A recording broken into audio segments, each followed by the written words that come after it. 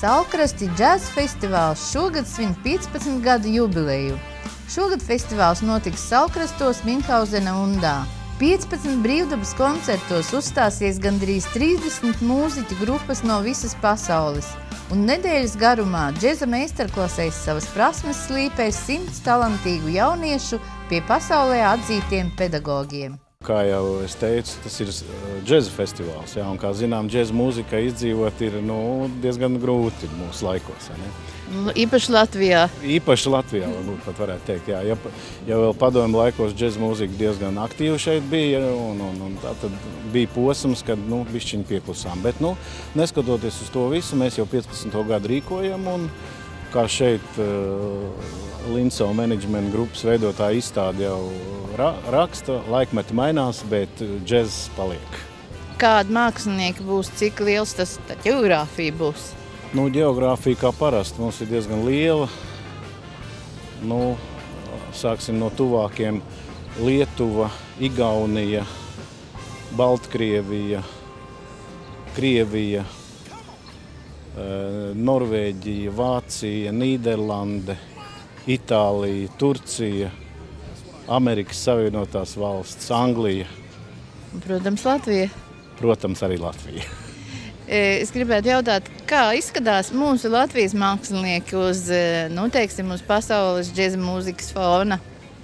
Jā, tā ir tēma, par ko mēs savā lokā esam daudz runājuši, un arī ar kolēģiem, džēza muziķiem te Latvijā. Kad it kā ir e, tāda publikā, ir tāda tendence vairāk vērsties uz ārzemju māksliniekiem. Ja? Bet, nu, Patiesībā ir tā, ka uh, vadošie, protams, vadošie profesionālie muzeķi, kas ir no Latvijas, ja, viņi regulāri uzstājās visdažādākos, gan Eiropā, gan Amerikā festivālos, džēza mūzikas festivālos un ar lieliem panākumiem un ļoti atzīti. Ja.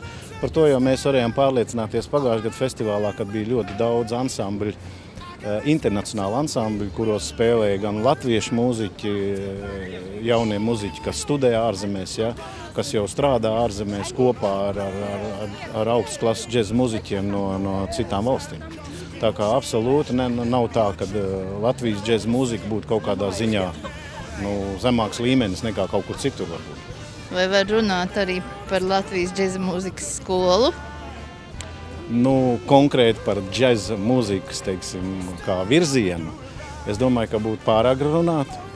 Bet uh, virzība un kustība Latvijā šī jomā ir ļoti aktīva. Šeit mēs varam runāt par uh, Rīgas domu koru skolu, kurā ir uh, jaunajiem iespēja jau mācīties. Tāpat arī mediņu, Rīgas mediņu mūzikas vidusskolā, kur ir džeza nodaļa Liep, Liepājā, Ventspilī, Jelgavā. Jā, tā kā šī kustība ir aktīva un, un, un audzēkļi nāk, stājās un vēlās mācīties šo, šo žanru. Jā. 15 gadi tas ir pietiekoši daudz, lai šis festivāls iegūtu paliekošu, noturīgu vārdu. Un šis vārds nes saukrastus. Ja, tas mums ir pirmkārt liels gods. Un, kā jau es arī pieminēju preses konferencē, ja, tad šis jau nav tikai teiksim, klasiskā izpratnē festivāls. Ja, šeit tomēr ir meistarklases, un šajās meistarklasēs darbojās arī bērni no saukrastiem. Ja, tas ir ieguvums uh, gan kultūras jomā, gan ieguvums izglītības jomā. Ja, mēs šo festivālu uztveram kā tādu izglītojošu kultūras pasākumu, kas neapšaubām ir atpazīstams un saukrastu kultūras dzīves viena no pērlēm. Šogad par godu šim 15 gadiem ir uh, patapināts, izgatavots tāds improvizēts saksofons, puķu saksofons, kas šobrīd ir apskatāms saukrastu centrā, šajā saules laukumā jaunizbūvētajā, un kas noteikti paliks kā tāds simbols, kā tāds vidas objekts saukrastos gadu no gada. Ja, nu. Единственный фестиваль остался, который абсолютно джазовый фестиваль на котором звучит джазовая музыка разных стилей, разных направлений. Именно я подчеркиваю, джазовая музыка. Тут э, никаких нету там поп-музыка, там шоу, там это вот настоящий джазовый фестиваль. Э, что здесь колоссальная атмосфера. Вот атмосфера э, на фестивалях, вот в этом Мюнхгаузен-Унда, где все это проходит, ведь там собираются и звезды, там собираются и молодые музыканты. Они живут целую неделю вместе, э, как одна семья. На этом фестивале побывало очень много известных музыкантов. Проходят мастер-классы. С молодыми музыкантами работают известные джазовые музыканты из разных стран. Эти все педагоги, они все профессиональные музыканты. Тоже, кроме того, что они педагоги, они профессиональные музыканты.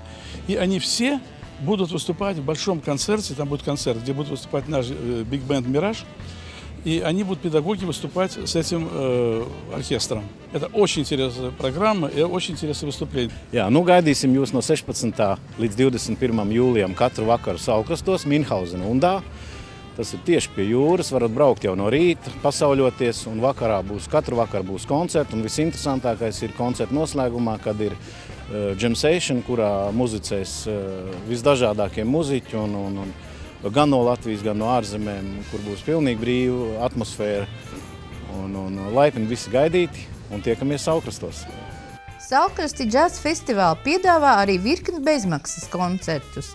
12. un 19. jūlijā pulksten 17. uz Origo Summer Stage skatuves. Saukrastu centrā no 16. līdz 20. jūlijam pulksten 15. un 21. jūlijā pulksten 12. uz Minhausena undas skatuves meistarklašu studentu koncerts.